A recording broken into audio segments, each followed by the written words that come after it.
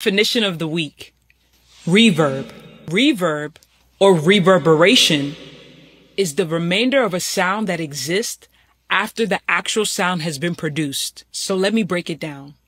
When you're in a room and a sound is made, the sound will bounce off the walls and off the floor and continue to make a sound even after the sound stops. For example, when I start talking and then I stop, there's still a sound in the room even after I stop talking.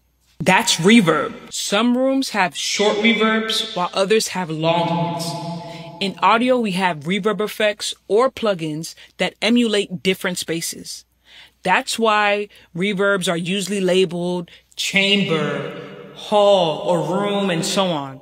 Plate reverb is an artificial reverb that's created by sending audio through a thin metal plate that vibrates to create a reverb effect.